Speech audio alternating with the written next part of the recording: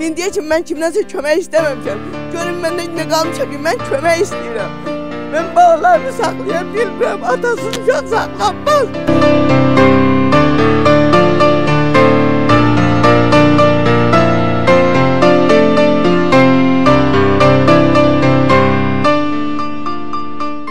Mollayeva Kütahya Sədulla qızı Göyçay rayon sakinidir.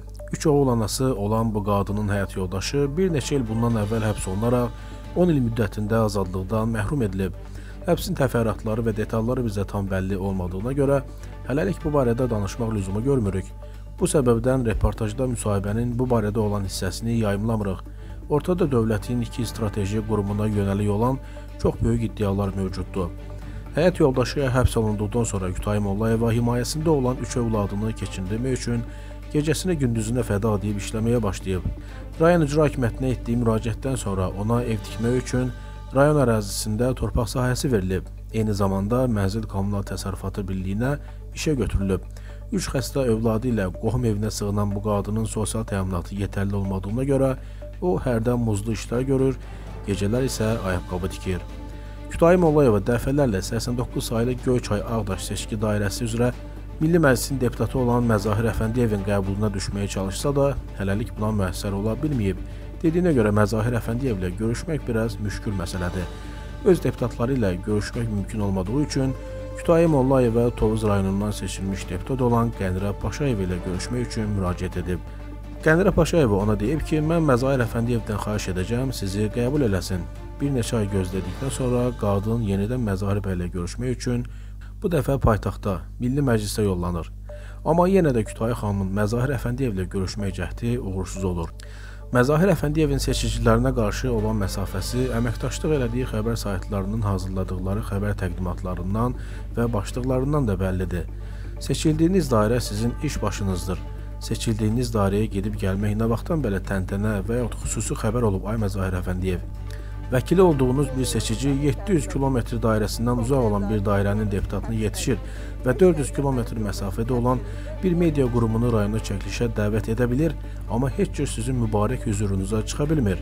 2 il ərzində təkcə bu vətəndaş dövlətin bir neçə qurumuna 500-ə yaxın şikayət məktubu göndərib.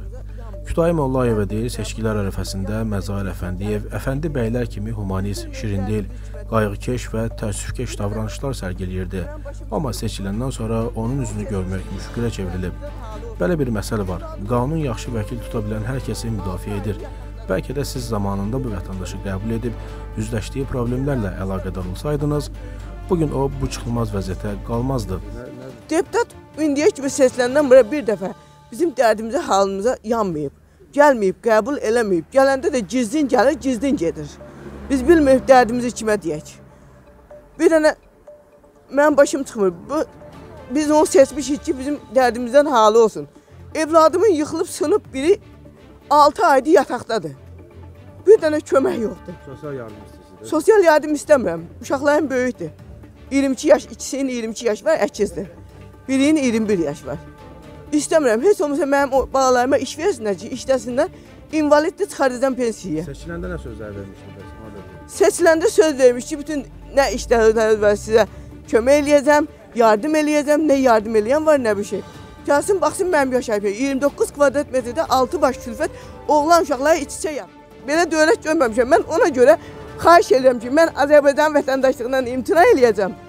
Keçəcəm nə bilim İsrailin vətəndaşlığına, Amerikan vətəndaşlığına, Almaniyanın vətəndaşlığına. Çünki burada bizə baxan yoxdur.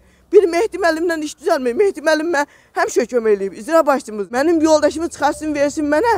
Yox, əgər günahı varsa mən demirəm. Açsın kameranı. Bu dövlətin kamerası niyyədir? Açsın kameranı. Günahı var, ömürlük versin. Yox, yoxsa mənim yoldaşımı çıxartsın, versin mənə. Bu 2 il ərzində 74 dənə teleqrama vurmuşam. 310 dənə məktub göndərmişəm. Hamısına yazır ki, baxılır, baxılır, baxılır. Nəyə baxılır? Heç nəyə. Heç nəyə baxılmır. Deputat da gəlir gedir məzahir mənim gəl bir mənim dərdimdən halı ol. Adam mən sən, səni seçmişəm ki, sən mənim dərdimə yanasan. Tabii mənim əlim yanı bağımda təmədim, müəllim sən nəyə yarıysan? Heç nəyə. Bağışlayın da mən qadın xeylağıyam. Mən küçə süpürüm. Mən nə bilim beton töküm. Mən geyim qapılarda işləyim, haçağa ben eləyim müəllim. Olmaz. Bizim dövlətimiz bizi baxmalıdır, saxlamalıdır. Haçaq ki mən nətər yaşamışamsa, indiyə kimi mən kimdənsə kömək istəməmişəm. Görün məndə nə qalmışam ki, mən kömək istəyirəm. Mən balalarımı saxlaya bilmirəm. Atasız uşaq saxlanmaz. Allah saxlanmaz. Mənim səsimi eşitsin. Mənim səsimi yayın. Hər bir tərəfiyə. Yəni başıma deyir ki, məzahim deyir. Məzahim müəllimi tapmıram. Yoxdur. Yox deyə yox da Çin olur. Gəlmir axı. Gəlir üç dənə adamı qarşılayır. Kimi? Ən aşağı alçaq adamları bizi yox. Biz seçmişik, səni seçmişik ki, sən gəlib bizim ayağımızda durasan, sən bizə köməklik eləyəsən. Sən əgər bizə kömək eləmisənsə, biz səni niyə seçmişik? Qəbullar yoxdur. Qəbullara girə bilmirik. Üç dənə uşaqdır, nə ilə saxlayım? Mənim bir çəkiliş qrupası gəlsin, mənim evimin şəraitinə baxsın. Bu tür benim deri baldızımındır. Ben onun yanında sığınmışam. Sığınmışam ben baldızımın yanında. 300 manat maaş verir, 300 manat maaştan kamdan. Gaz, ışık, gazın, gaz pulunun üstünde 400 manat pul var. Ben onu ödeyebilmiyorum. Ödeyebilmiyorum. Niye? Günde günde artık kadar, ne kadar utanırım. Ben ne kadar müellime dedim ki müellim ben pul verin dedim, gaz pulu kesildim. Uşağıma çöreyelim olmur. Vallahi olmur müellim. Amma mənim səsimi eşitsin, prezidentimiz eşitsin, deputatımız eşitsin.